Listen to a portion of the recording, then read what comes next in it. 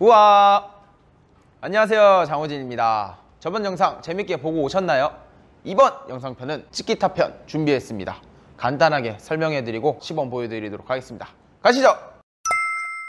일단 치키타는 리시브에서 많이 작용하는 기술인데요. 아마추어 분들은 게임하실 때 긴 서브도 많이 넣으시고 또 이런 서브나 이런 게 불규칙 하시다 보니까 이런 경우가 많이 안 나오는데 치키타는 스텝도 중요하고 공이 어디로 올지도 예측을 많이 하셔야 잘할 수 있는 기술이기 때문에 예측이나 그리고 또 연습 때 많이 해보셔야 시합 때 하실 수 있으니까 그것도 많이 염두에 주시면 좋을 것 같습니다. 치키타 할 때 각이 이렇게 얇은 선수도 있고 두꺼운 선수도 있고 손목을 요만큼 빼고 요만큼 빼는 선수도 있는데 제가 생각했을 때 손목을 그래도 요 정도로는 빼주셔야 임팩트도 잘 나오고 회전도 많이 줄 수 있기 때문에 각도는 요 정도에서부터 시작을 해주시는 게 좋습니다. 그리고 한 가지 주의해야 될 점은 이 치키타를 많이 하시다 보면 손목이나 이런 팔꿈치가 많이 아프시기 때문에 꼭 너무 하실 때 무리하시지 말고 적당히만 빼갖고 그냥 이렇게 위로 올려주신다고 생각하면 조금 더 쉽게 하실 수 있습니다. 그럼 제가 먼저 시범 보여드리도록 하겠습니다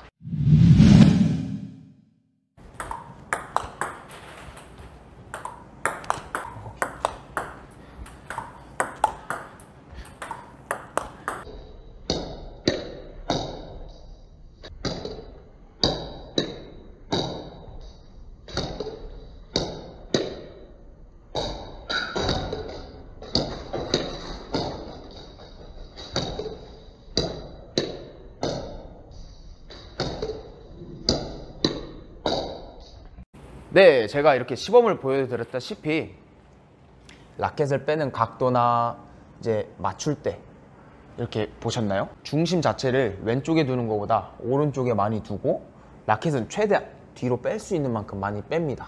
그래야 내가 임팩트 하는 데 있어서 더 많이 할 수 있고 회전도 많이 줄 수 있기 때문에 이렇게 빼는 자체는 이 정도 빼고요. 그리고 맞추는 건 약간 한 7시 정도를 맞추는 것 같아요. 그래야 내가 옆을 치면서 앞으로도 보낼 수 있기 때문에 약간 7시 정도 이제 볼이 있으면 7시 정도를 쳐서 조금 더 위로 보내는 느낌으로 많이 보내고 있습니다. 그래야 옆으로 가면서도 조금 회전을 많이 줄 수 있기 때문에 저는 그런 식으로 볼의 위치를 정하고 있습니다. 그리고 맨 처음에 치키타 시작하시는 분들 많이 어려우시잖아요. 이거를 어떻게 빼야 되고 뭐 어떤 식으로 시작을 해야 되는지 빼주실 때 그냥 엄지를 이렇게 따봉이시죠. 따봉해서 그냥 이거를 그냥 뒤로 보내주신다고 생각을 하시면 자연스럽게 이게 뒤로 빠집니다.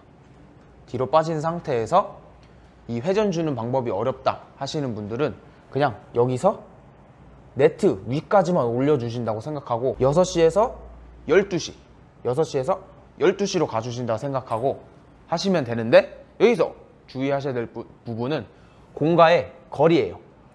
공이랑 라켓이랑 거리가 가까우면 가까울수록 임팩트나 힘이 안 나기 때문에 공이 오기 전에 내가 이거를 빼고 있다가 맞을 때 마중 나간다고 생각하시고 6시에서 12시 그 다음에 마중 나간다. 이렇게 생각하시면 조금 더 쉬우실 거예요. 그리고 스윙은 꼭 앞으로보단 위로 위로 주셔야 돼요 아시겠죠?